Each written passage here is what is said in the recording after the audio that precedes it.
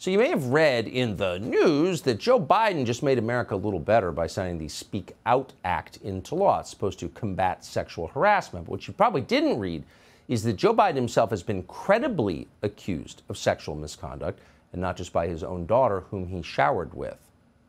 In the presidential election of 2020, Tara Reade, a woman called Tara Reade, emerged to say that while working for Joe Biden in the U.S. Senate, he sexually assaulted her in a violent way. Most of the media buried the story. And we'll be honest and admit that we didn't know what to think of it. But we finally sat down and talked at great length with Tara Reade to hear what happened. And we were completely convinced that this is real and that she was able to prove it. The whole story is part of a brand new episode of Tucker Carlson today, but here's part of it.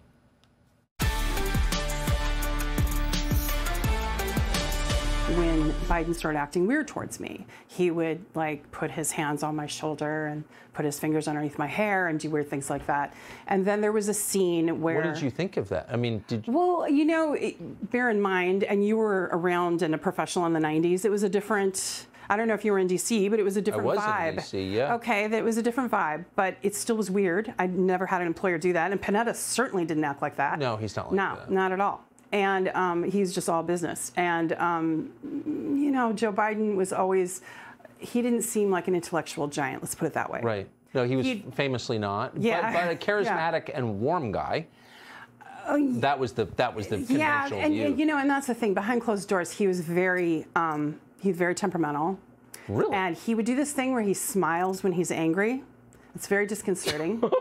very disconcerting. That big smile, and he's, you know, but he'd be angry, and he was he was very temperamental. He had me up against a wall, and he penetrated me with his fingers against Oh. my will, and I, um, you know, it was, it wasn't just the assault though.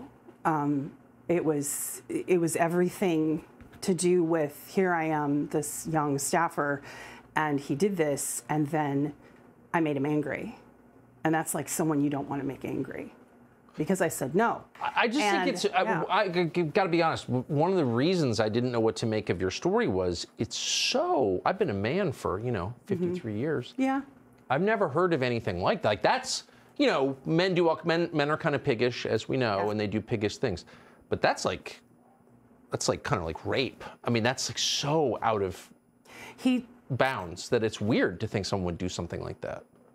It was just. It happened all at once. It happened really quickly. There was no like flirtation with him or anything like that. It was very, you know, um, he's he was usually with people and he wasn't. I was like at the wrong place, the wrong time, so to speak. And when it happened, um, he at first was like, "Come on, man, I heard you liked me." And I, you know, I froze. And then he said, he got angry, and that's when he smiled, you know, that smile. And that's what was really jarring. And then he said, he pointed his finger in my face and he said, You're nothing. You're nothing to me. And then I, I must have had a certain look on my face, and he just took my shoulders and shook him. He said, You're fine, you're fine, you're fine. And then he turned around and he walked away. And I remember it was just such a jarring, shocking incident. Probably was all of less than five minutes, right? But my vivid memory is sitting on this, these marble stairs, and my legs were shaking so badly because it wasn't just what he did, it's that I knew my career was over. That was it. Like I had said no, it was an awful thing, and this was the end. He used his power and resources to silence me. And I'm going to share something with your audience. They took a cannonball to my life. Yeah. They went after my family. So when that day, when he did that assault, he took my future.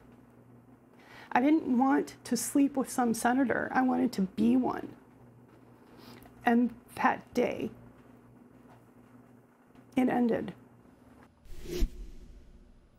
the cruelty she describes, not just an unwanted advance, not just the sexual violence, but the meanness to her from Joe Biden and from his staff and from people throughout the Democratic Party will just absolutely blow your mind. Is really offensive to anybody, not on partisan grounds, just as a human being. You can't believe people would act that way, but they did.